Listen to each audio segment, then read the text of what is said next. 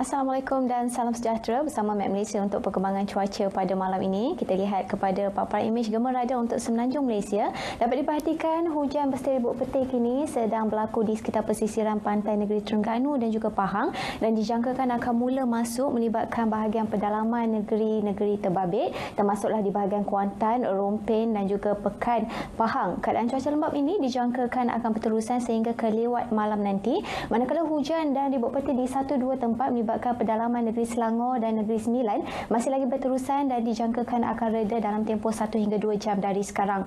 Seterusnya untuk negeri Sabah dan Sarawak, keadaan cuaca di seluruh negeri Sabah adalah tiada hujan. Namun demikian di negeri Sarawak pula, hujan dan ribut petir di satu dua tempat melibatkan bahagian pedalaman terutamanya Kapit Sarawak sedang berlangsung dan dijangkakan akan uh, mula reda dalam tempoh 2 hingga 3 jam dari sekarang.